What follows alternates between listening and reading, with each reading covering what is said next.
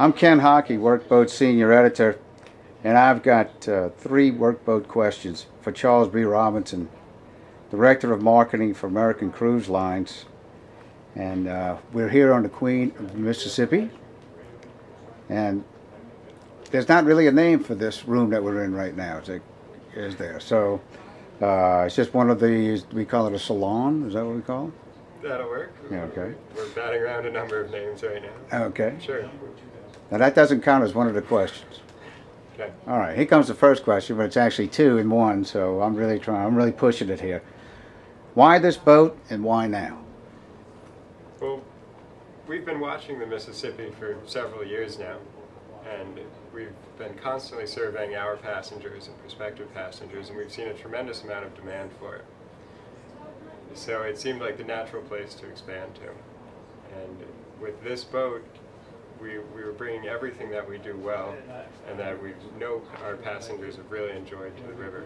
So we brought the, the spacious staterooms, the, the lounges, the, the fine service, and the refined atmosphere that all of our passengers have always enjoyed um, to the Mississippi River, which, which they have been requesting of us for years.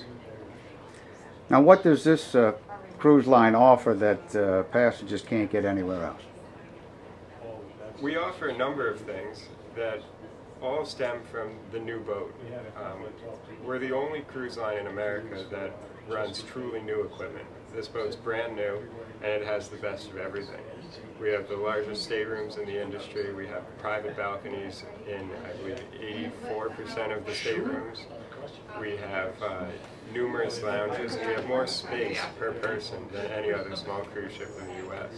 And that just lends itself and it creates a foundation for a refined and fine experience uh, that, that everyone will see on board.